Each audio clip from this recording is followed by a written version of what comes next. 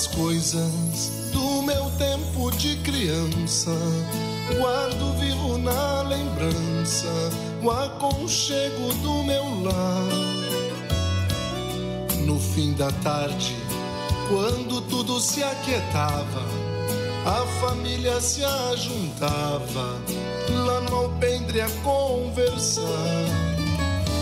Meus pais não tinham nem escola nem dinheiro. Trabalhavam sem parar. Faltava tudo, mas a gente nem ligava. O importante não faltava, seu sorriso e seu olhar.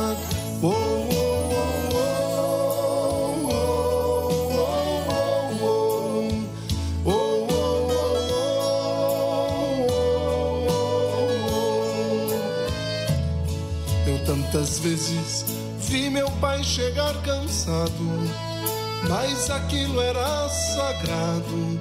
Um por um ele afagava e perguntava quem fizeram estrepulia. E a mamãe nos defendia e tudo aos poucos se ajeitava. O sol se punha, a viola alguém trazia. Todo mundo então pedia pro papai cantar pra gente. Desafinado, um meio rouco e voz cansada, ele cantava mil toadas. Seu olhar no sol poente. Oh,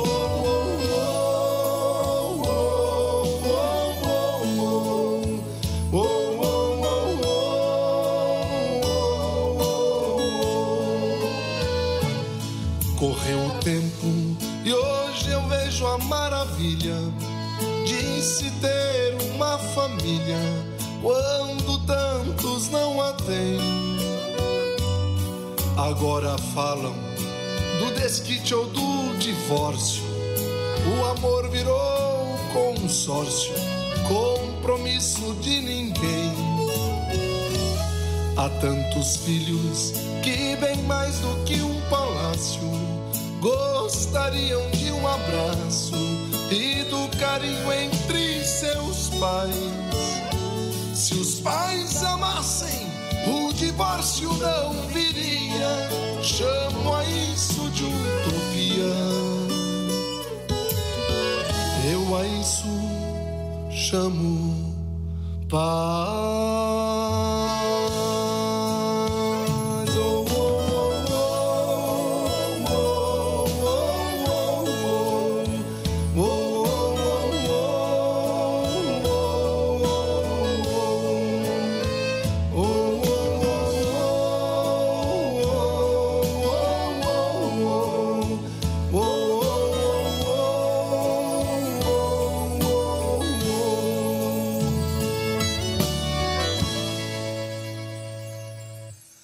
Se Deus nos criou para sermos felizes, então por que que existem tantas pessoas infelizes? Por que será que existem tantas famílias infelizes? Por que será que existem tantos divórcios? Por que, padre, que eu estou infeliz? Por que, que eu estou vivendo esta situação de tristeza, de angústia, de sofrimento na minha vida? Por que, que o meu casamento não deu certo? O meu relacionamento, o meu namoro não vingou? Padre, tudo o que eu faço na minha vida, nada dá certo, nada vinga. Por que, que a minha empresa está falindo? Porque, Padre, que tudo que eu empreendo não prospera.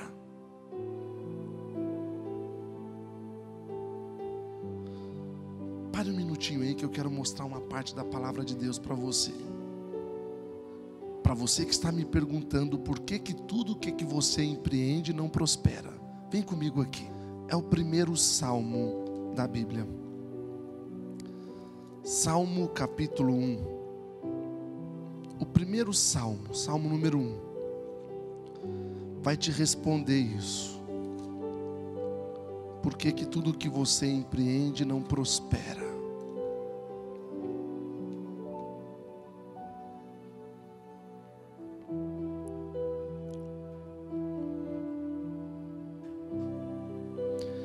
Diz o Salmo número 1 o seguinte: Feliz o homem que não vai ao conselho dos injustos, não para no caminho dos pecadores, nem se assenta na roda dos zombadores. Pelo contrário, o seu prazer está na lei de Deus. Ele medita a sua lei dia e noite. Ele é como uma árvore plantada junto da água corrente. Dá fruto no tempo certo, no tempo devido. Suas folhas nunca murcham. E tudo o que ele empreende prospera. Todo homem que anda conforme a lei do Senhor, que caminha no caminho dos justos, não dos pecadores, dos zombadores.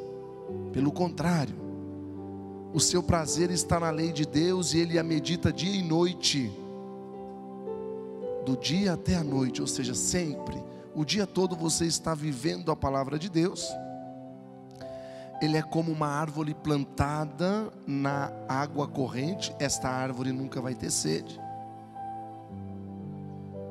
Suas folhas nunca murcham e tudo o que ele empreende prospera.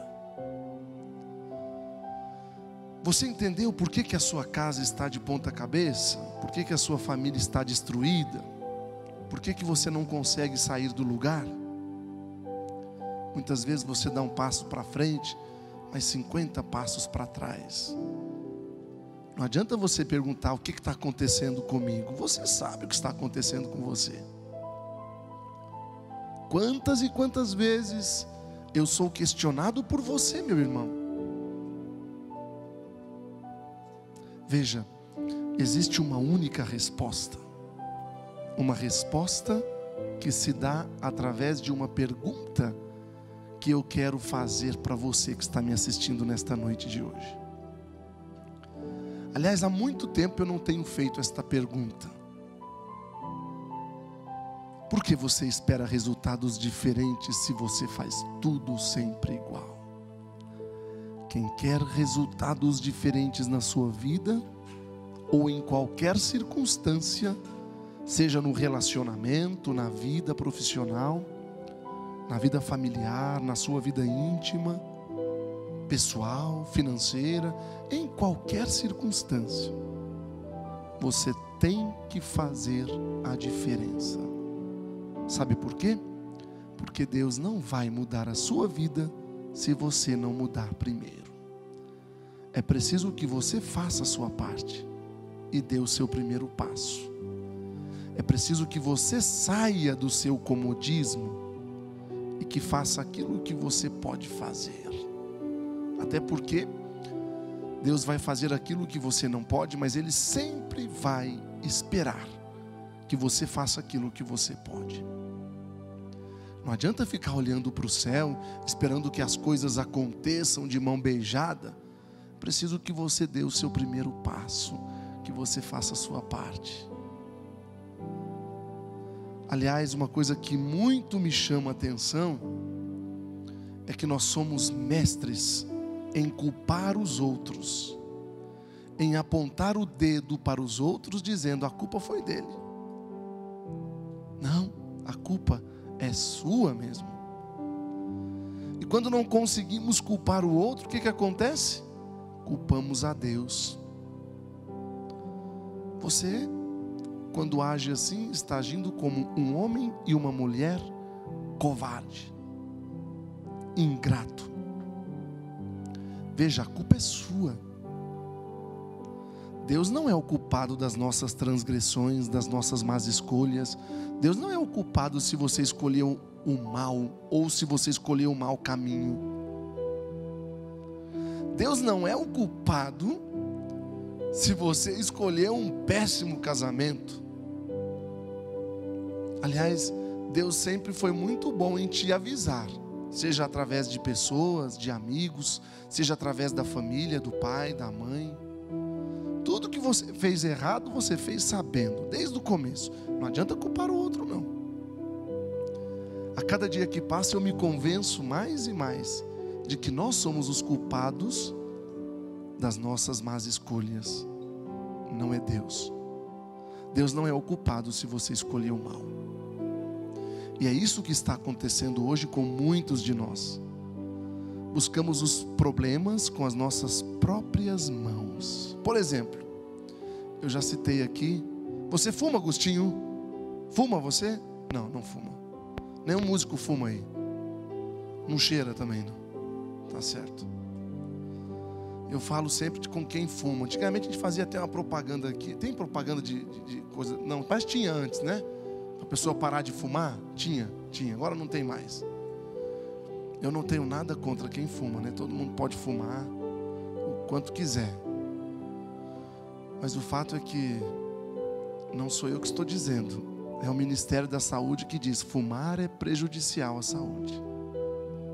E como se isso não bastasse, Hoje na cartelinha do cigarro ainda tem aquelas fotos horríveis, né, de pessoas que morreram com câncer, câncer de pulmão, várias outras doenças. Fumar, fumar causa isso. Fumar causa aquilo. E com tudo isso, o que é que você faz? Você enfia a mão no bolso, para no primeiro boteco e compra a sua doença, compra a sua desgraça, compra o seu câncer, compra a sua morte. Repito, nada contra quem fuma ou até mesmo quem bebe. A gente faz propaganda aqui contra o alcoolismo, né? As pessoas que bebem. Você pode beber. Mas quando você enche a cara e quando você perde o controle, qual é o resultado de tudo isso? Além da desgraça na sua casa, com a mulher, com os filhos, com a família, enfim, até, até porque todo homem, quando, quando bebe, vira macho. Quando não bebe, é uma moça. Bebeu, vira homem. Sem contar que depois o fígado vai para vai o beleléu.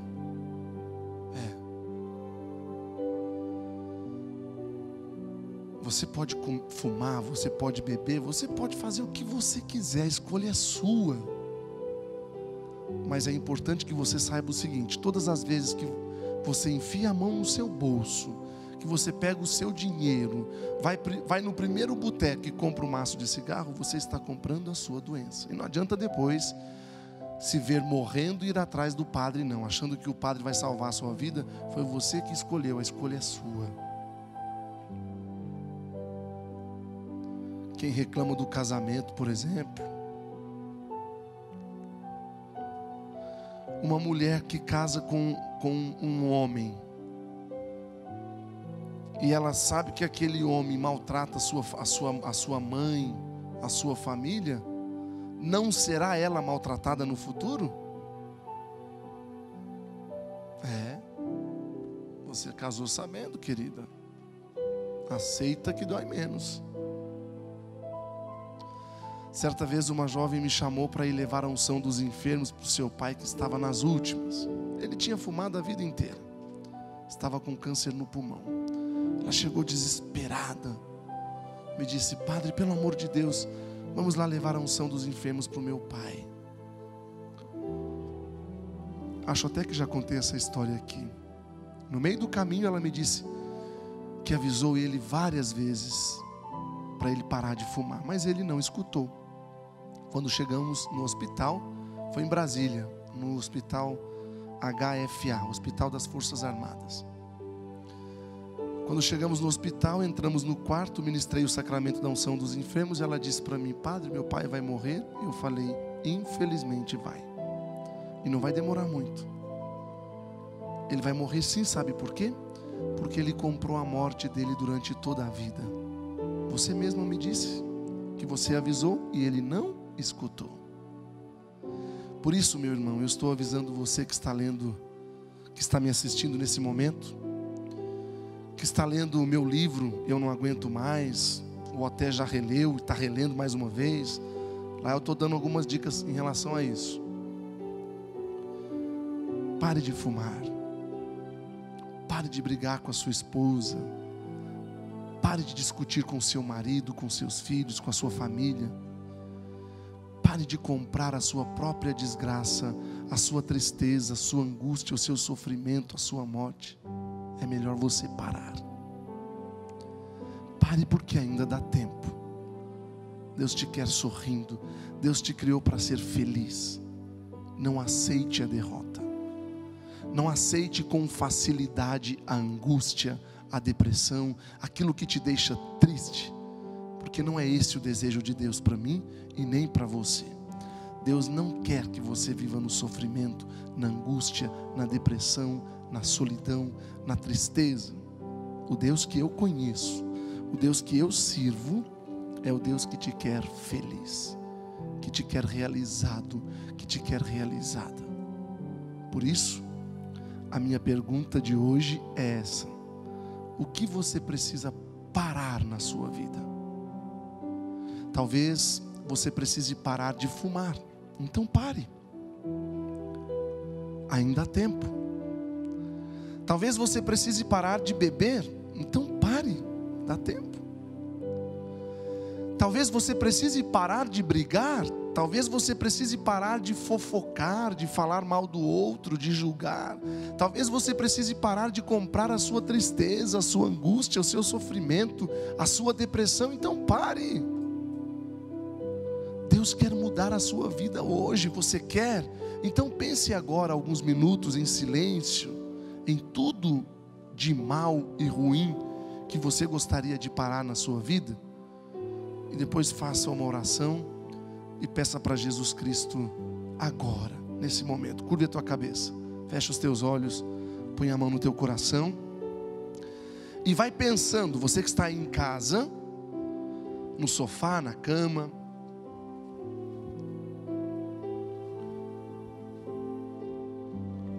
Você que está aí em casa, acho que eu baguncei meu cabelo quando eu fui colocar a estola. Não, tá ok. Tá certinho? Isso, me ajuda aí, diretor. Ficar bonito na televisão. Pelo menos na televisão tem que dar um jeito. Isso. Pare um minutinho agora hein? e vá pensando em tudo que tem de mal na sua vida que você gostaria de eliminar, tirar, excluir. Oh Senhor, eu não consigo parar de fumar sozinho, sozinha. Então peça a ajuda de Deus agora. Eu não consigo deixar o mundo das drogas sozinho. Muito embora hoje eu vivi uma experiência muito interessante. Eu estava com um dos meus pedreiros que estão lá mexendo na minha casa. E ele foi usuário de, de crack por 15 anos, ele me dizia hoje. Não sabia. Ele disse que já tem mais de 10 anos que ele não não cheira ou não fuma uma pedra. A pedra é para fumar ou para churar? Fumar, é. E eu perguntei para ele, eu falei, mas você teve ajuda? Você conseguiu? Como é que foi? Fez um tratamento? Ele disse, não. Um dia eu cheguei em casa de madrugada e falei, a partir de hoje, nunca mais eu vou fumar uma pedra de crack. E nunca mais, padre. E eu falei para ele: Você não sentiu falta? Ele falou: Não. E eu disse para ele: E você não sente falta? Você não tem vontade de fumar de novo? Não. Dizia: Olha que onde eu moro tem cinco bocas, seis bocas. Mas não tenho vontade. Eu gosto dessas pessoas que são, me ajuda, Paulinho, determinadas. Na vida você tem que ter determinação. Você tem que parar e dizer: a partir de hoje eu não quero mais levar chifre. Vocês estão rindo por quê? Porque vocês, é, quem está rindo é porque está levando. Os meus músicos eu já sei que todos aí, com exceção do Agostinho que está aí hoje. Mas aí você é professor. É, é, quanto mais velho, né? Mais usado. Então você tem que decidir: eu não quero mais. Eu, a partir de hoje, não fumo, a partir de hoje eu não bebo. Se você não consegue ter o controle, então não faça. Eu bebo, nunca escondi de ninguém, mas eu sei beber. Se você não sabe, se você não tem controle, não beba. Fumar eu não fumo, graças a Deus, nem quero. Então na vida você precisa ser determinado. Você tem que ter determinação, você tem que ser homem. Não adianta ser macho. Tem um monte de homem aí que é macho. Ser macho é uma coisa, ser homem é outra. Macho até animal é. Quando você vai lá no, no, no pasto, você fala isso aqui, esse, nasceu lá um bezerro, você fala, é macho ou fêmea? Qualquer bicho que nasce, você pergunta, é macho ou fêmea? Você não pergunta, é homem ou é mulher? Não. Homem e mulher é um ser humano. São filhos de Deus. Você é homem ou você é mulher? Bater no peito e dizer, eu sou macho, grandes merdas. Para mim não faz diferença. Tem que ser homem. O homem é aquele que é determinado. O homem é aquele que honra a sua palavra. O homem é aquele que diz eu vou fazer e faço, ou então eu não vou fazer e não faz. Esse é o homem. E essa é a mulher.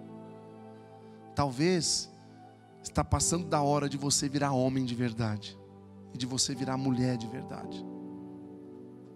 Porque só ser macho ou ser fêmea, você não vai passar de ser um animal. Em nome do Pai e do Filho e do Espírito Santo.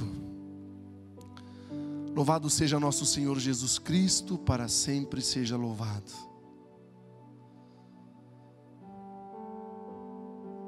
Pare com todo o mal que está acontecendo na sua vida. Peça para Jesus Cristo isso. Senhor, pare com todo o mal que está acontecendo na minha vida agora Pare, Jesus, com toda a desordem que está acontecendo na minha vida.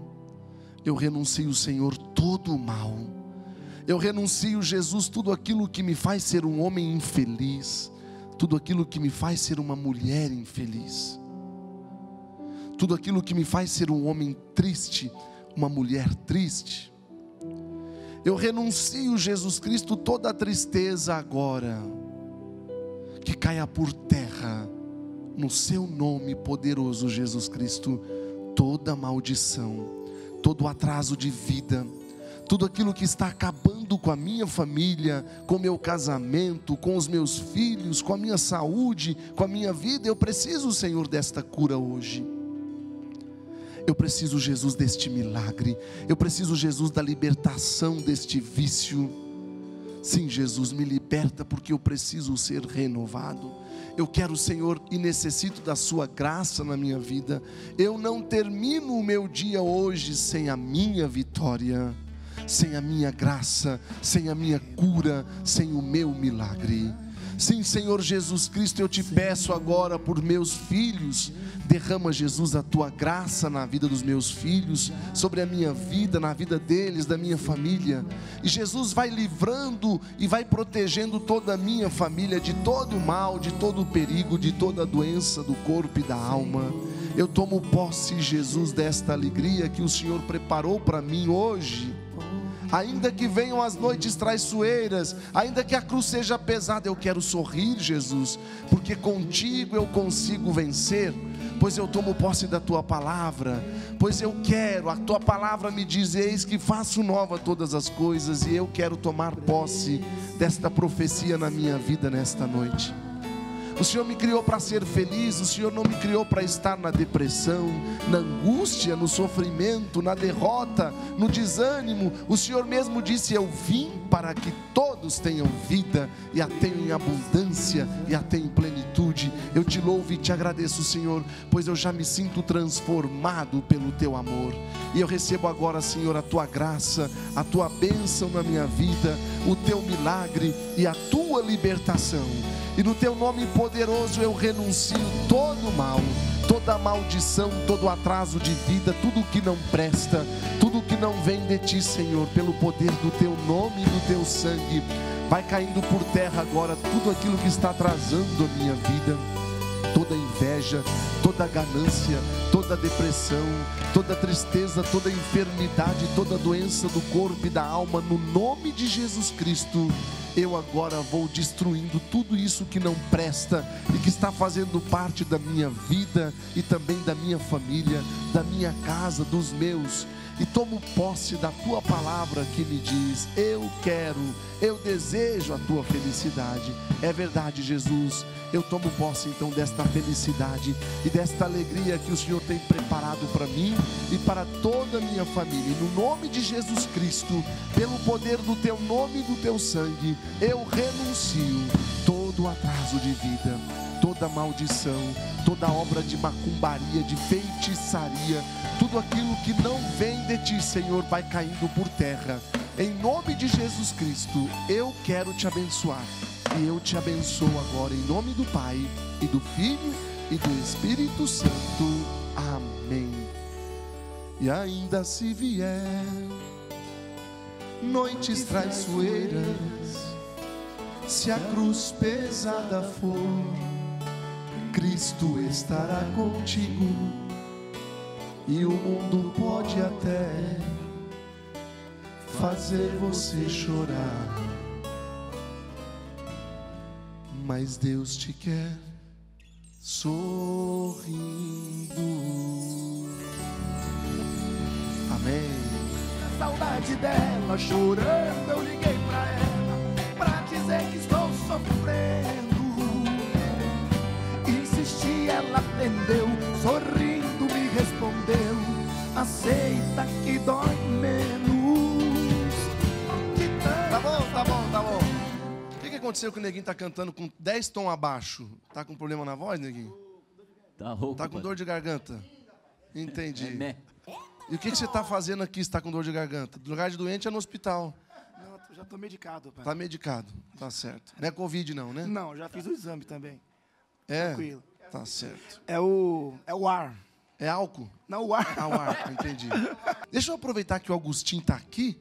E Agostinho é um dos, dos sanfoneiros, um dos músicos mais bem conceituados aqui do nosso Brasil.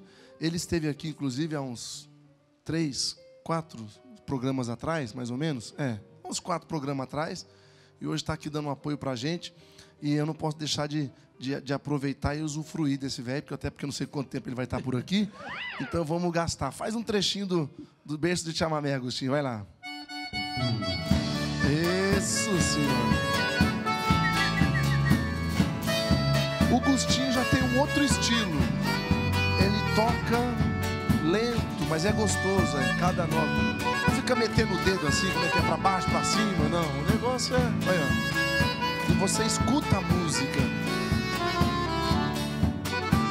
Fui a Campo Grande, no centro-oeste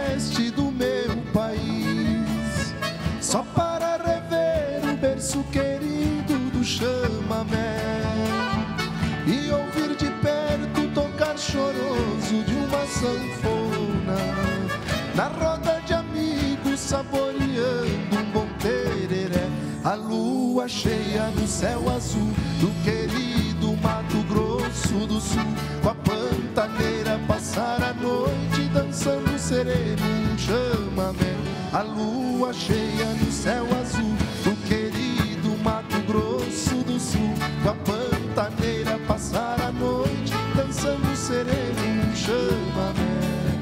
Agostinho. Olha que bonito o arranjo.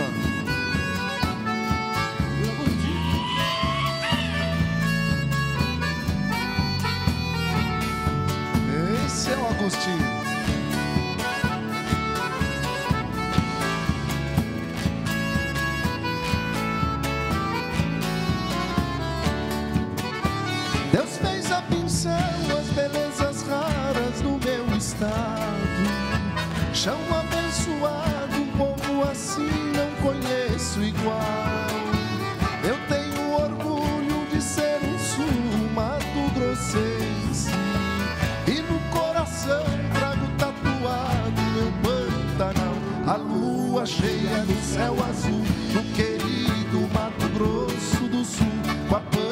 lareira, passar a noite dançando sereno um chama. A lua cheia no céu azul do querido Mato Grosso do Sul. A pantaneira, passar a noite dançando sereno um chama.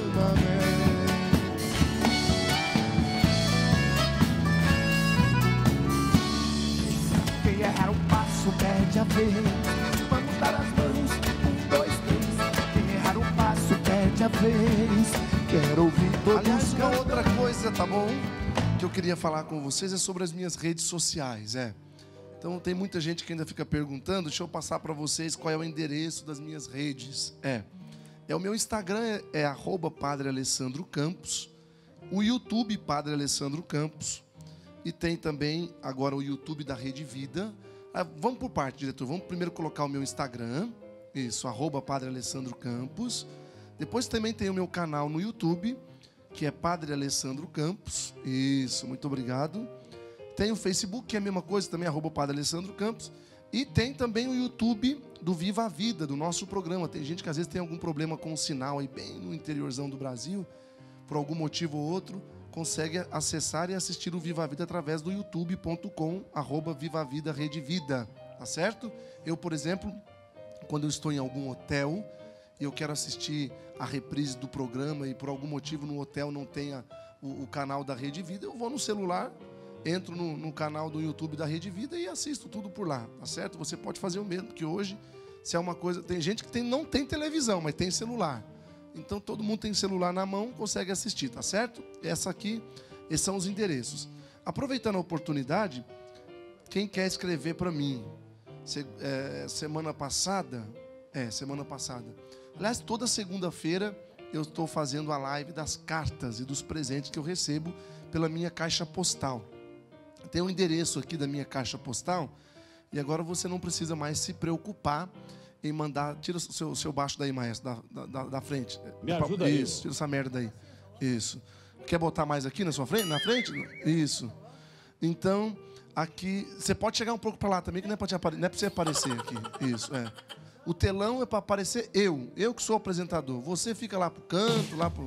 Isso. Não é para você ficar. Quando eu for mostrar o telão, você levanta e vai para lá. Que eu não estou aqui para fazer nome para você não. Escreva para mim, Padre Alessandro Campos, Caixa Postal 394. Isso. O CEP 087100971, Mogi das Cruzes, São Paulo. Então você pode mandar seu presente, pode mandar o, o, o Sedex, caixa grande, caixa pequena, envelope, dinheiro, é, é, é, dólar, euro, tudo, qualquer coisa estou recebendo, Agostinho. Oi? Boletos, boleto vai para sua casa. Eu mando para você, tá certo? Então eu quero inclusive agradecer os dólares que eu recebi aí na semana passada. Tá chegando o dólar agora. É. Agora tá chegando. Agora, em vez de vir 200 reais, está vindo 200 dólares. Esse é o endereço, então, para você mandar carta e presente para o Padre Alessandro Campos, tá certo? E aí eu vou estar tá salvando o endereço de todos vocês. E, e à medida que for passando o tempo, eu vou respondendo também as cartas de cada um de vocês, tá bom?